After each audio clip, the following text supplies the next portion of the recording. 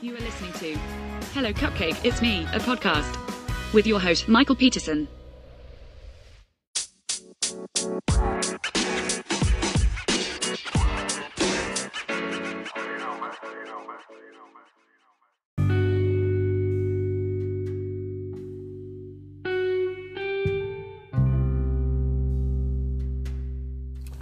Hey everyone, Michael here with Hello Cupcake It's Me, a podcast. Today is June 15th, 2023, and thanks for hanging with me. If you haven't done so already, hit like and subscribe, then head on over to hellocupcakeitsme.com to give the blog some love, and then head on over to youtube.com slash hellocupcakeitsme to check out the YouTube channel and join in on all the fun over there. So, welcome to episode 70. What is going on, everyone? So, you know, recently I've been listening to some podcasts. Like, I've never really listened to podcasts before, even though I've done 70 episodes now or whatever.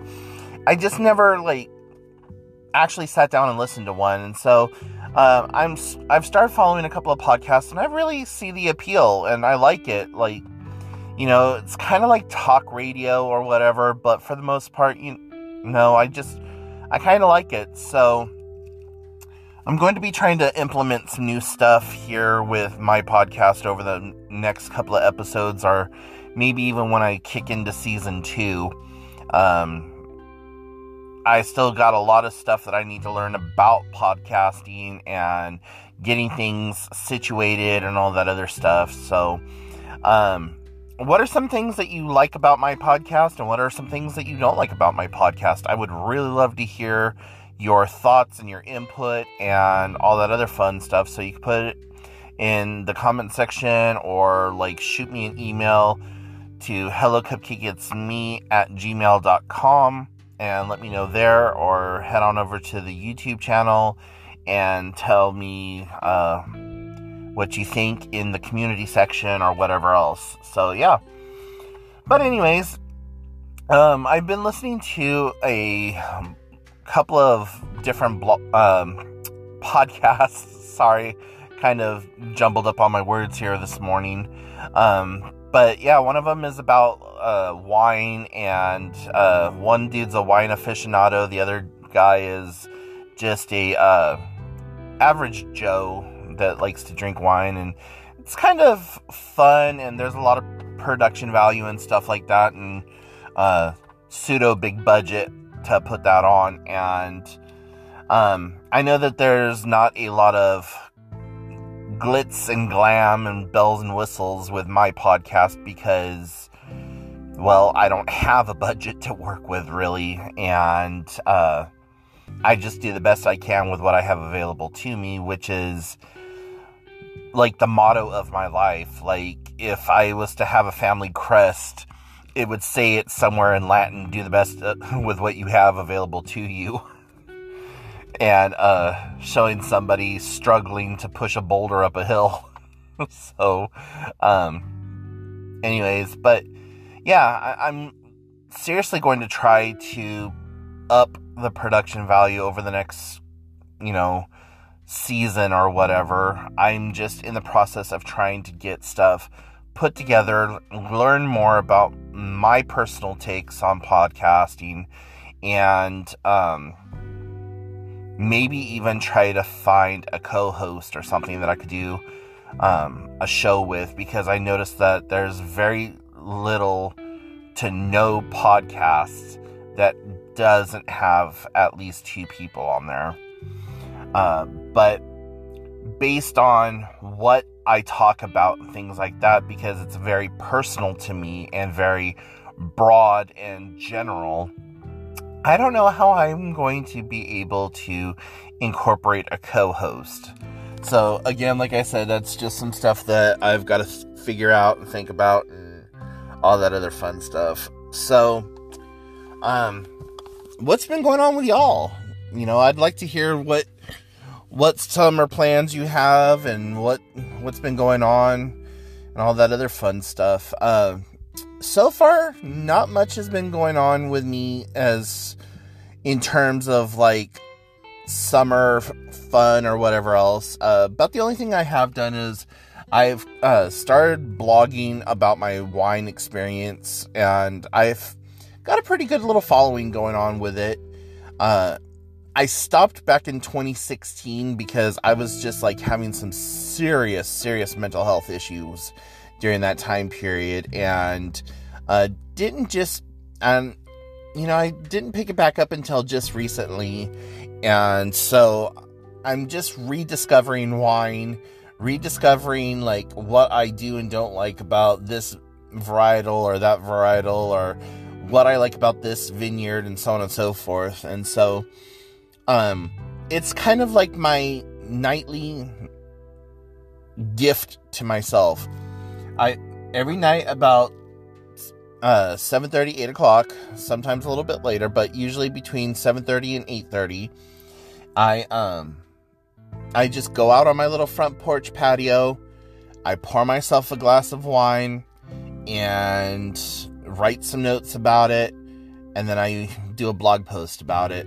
And, um, you know, I'm really enjoying that. Like, I don't do enough for just myself. It seems like I'm constantly on the run doing stuff for everyone else. And so this year I've really focused on trying to just be present for myself.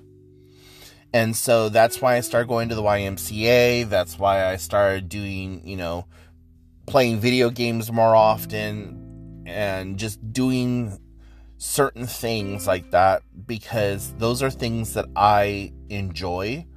The YMCA one is for the social interaction and Two, it's also for the physical health aspect. And three, it really has helped my mental health aspect. And even though I did start going to the Y back in last October, I think my first time at the Y was October 15th or the 27th. I can't remember which one now, but you know, I am coming up on a year. And I have noticed that there has been a significant change in the way that I feel um my movements are more fluid and stuff like that so you know just taking these small steps to better ensure my own happiness with myself and um even like today as i'm sitting here recording this podcast i'm sitting next to the ocean and I'm watching all of the little like ocean life. There's a cruise ship that's coming into port. There's just all kinds of things happening around and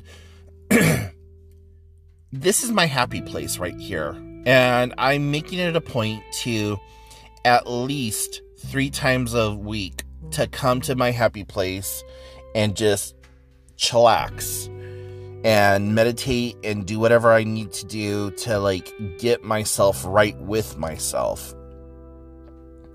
And I think that, you know, that's something that we don't do enough of. We are consistently putting other people ahead of ourselves without ever taking time for ourselves because if you're anything like I am, I would rather focus on somebody else's issues and help them deal with their bullshit than have to focus on myself.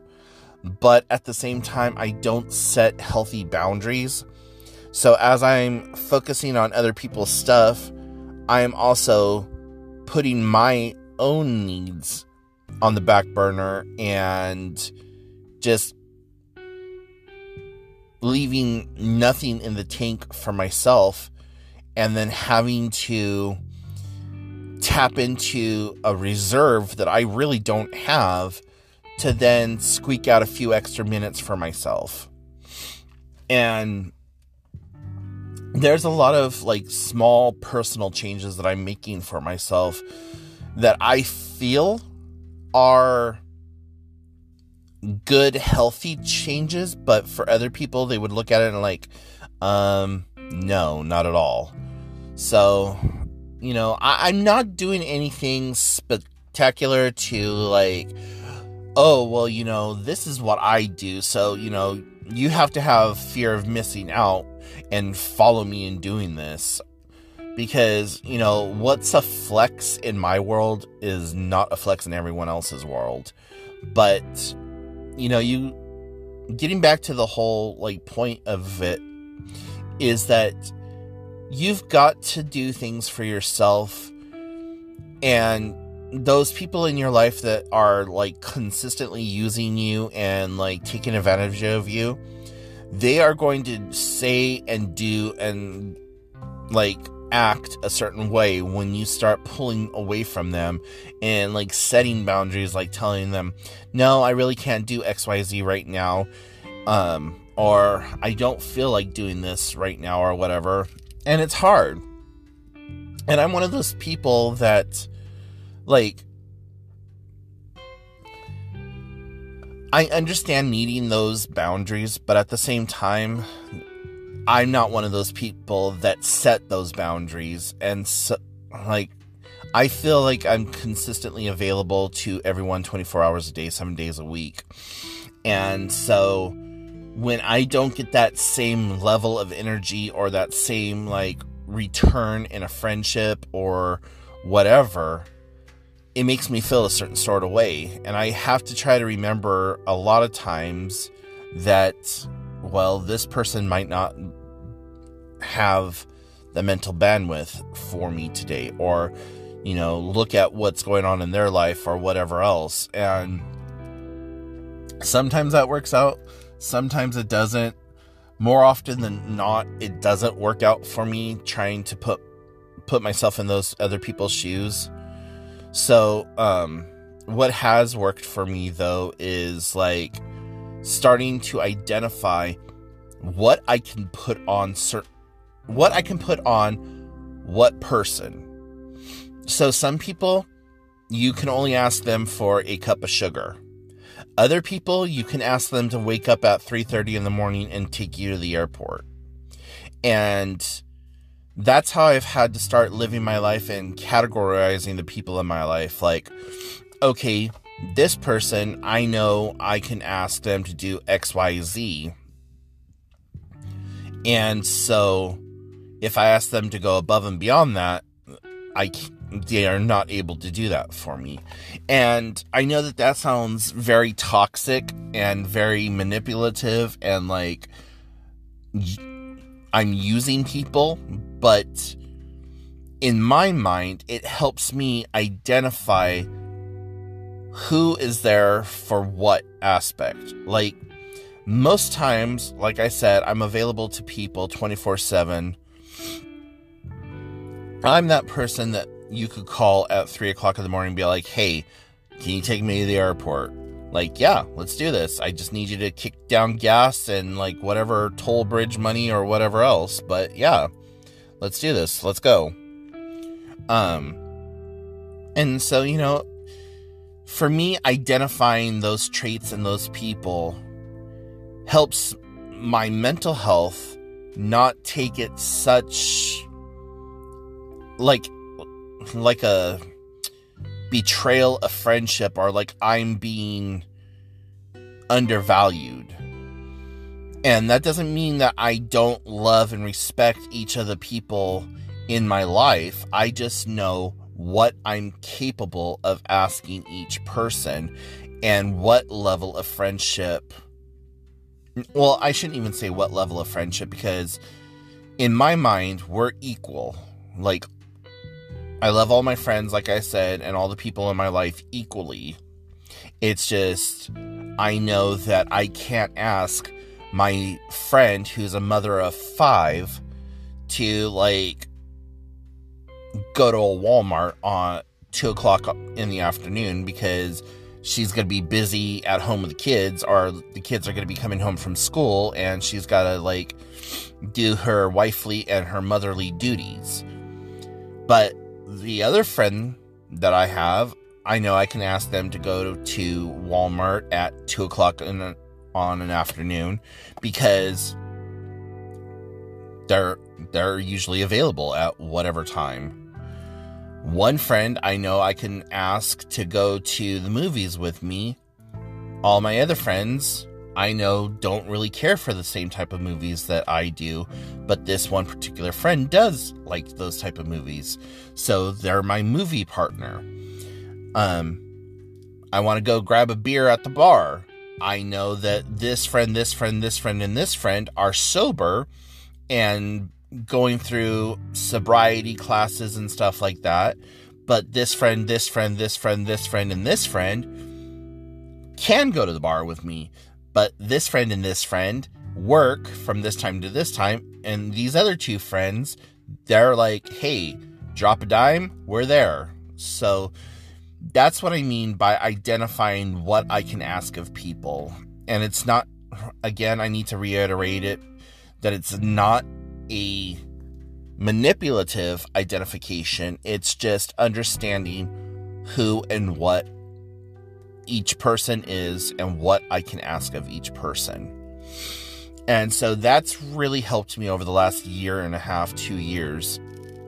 More so in this last year because like I said, I'm that friend that gives 110% and I'm always there. You can call me up, doesn't matter if I'm sleeping or whatever else. I'm waking up, I'm answering the phone, I'm there dealing with your problems. Your shit is my shit, my shit is my shit type situation. And um so now that I've identified the people in my life and I know what I can ask of those people, it makes me feel less shitty when I ask somebody to do something with me. Because I'm like, okay, well, you know what? I know that this person wasn't one of those people that I could ask, but I asked on the off chance. So, you know what? Cool. They're not able to do that. They're not able to hang. They're not able to provide this, like, comfort that I need right now. So, okay, now go ask the person that you were originally going to ask. So, anyways, yeah. Uh, just trying to find the happy medium and balance in life is a struggle, and it's a long term thing where you have to constantly figure out what works for you and what doesn't work for you because what works for you on a Monday may not work for you next Thursday. So you got to be adaptive also and be forgiving with not only yourself but the people in your life because they are they're going through their own shit and they're setting their own boundaries and they have their own abilities and mental bandwidth and you may have just caught them at a time when they don't have the ability to deal with anything else at that particular moment. So yeah, there's that. Sorry about that little ramble, but you know, that's kind of what this whole blog is, that's what my blog and my podcast and whatever is about is just talking from the heart, pseudo unscripted. Um, you know, I do keep a list of things in front of me that like talking points or whatever, and sometimes I go on tangents, sometimes I don't. Um, you know, that's one of those things that's going to help me develop my content better. So, you know, let me know just kind of bringing it full circle here. Like, let me know what you want to hear, what kind of content you want me to provide, so on and so forth, and I'll do my best to do so. Uh, what else is going on in my life besides that? Um, still doing the uh, sign language thing, getting pretty good with it. I've got a small base understanding of uh, the different signs and what needs to be said, how it needs to be said, the facial expressions. Um, my bipolar dyslexia, are not bipolar, but my dyslexia really, really fucks me up in like remembering how to hold my hands and how to um, do the hand movements and stuff. And I need to work on facial expressions putting the facial expressions along with the hand signs. Like, so when I say hot, I have to make sure to mouth the word and give the expression of hot. So when you when you do the hand sign for hot, you have to do this ha with your mouth and then like look like ow, I burnt myself or oh, that's hot. So that's one of those things that that's something I'm needing to work on also. And then the other thing that I need to work on is the similar signs, like the sign for apple and onion are the same exact sign, just at different locations on your face. So, onion is with your index finger bent and you push it to the side of your temple like you're crying or wiping a tear away. And you do this like up and down motion, like, you know, how you would tell somebody, oh, boo hoo. Well, you do that at the side of your eye or your temple, and you do that same kind of like boo hoo motion. That's onion. But if you take that same crooked finger and you put it by your mouth, and you rub it up and down like the boohoo motion, um, that means apple. And then there's another one that means job, where you um, tap your wrists together, but on your um, non dominant hand, if your palm is facing up and you touch your wrists together, that means rough sex or rape.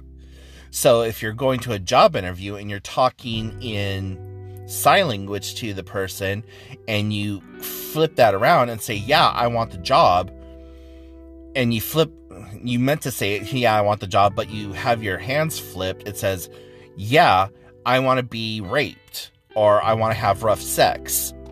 so um, that's something that I'm like, I'm really struggling with. And then um, when I'm finger spelling, trying to remember how to hold my hands and um, the letters R, S, and T and are Q, Q, U, R, S, T really throw me for a loop. So it's kind of counter intuitive, but yeah, unless you're studying um, sign language, you you're probably like completely lost right now. But if you want to see what I'm talking about, look up finger spelling on YouTube and um, finger spelling ABCs and watch the differences between Q, R, S, T, and see how they are. So the R, in my mind, is how S should be. So, I don't know. But, anyways, I think that's enough for now. I hope you guys are doing well. I hope you have fun on this upcoming weekend. And for those members of the LGBTQ community that follow along with my podcast, as well as my blog and my YouTube channel, I want you to know that you are seen, that you are loved, that you matter, that you are welcomed here, and to keep pushing forward, that it does get better, even though it seems like the entire universe is against you right now. And to my drag queen friends, stay strong. You guys are beautiful, and we will get through this. You just know that you have an ally. And I love all y'all. And thank you for listening.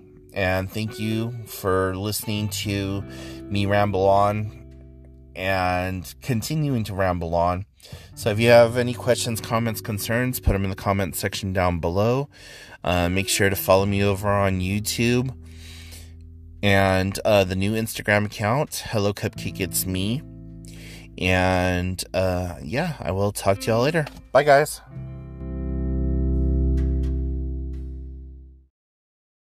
Thank you so much for tuning in. You have been listening to Hello Cupcake, It's Me, a podcast.